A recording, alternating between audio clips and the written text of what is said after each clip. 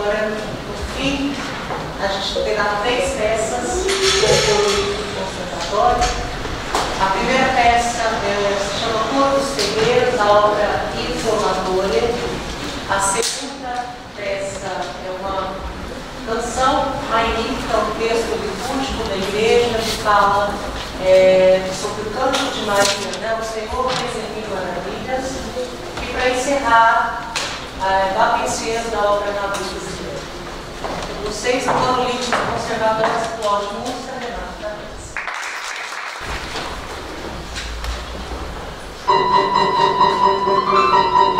da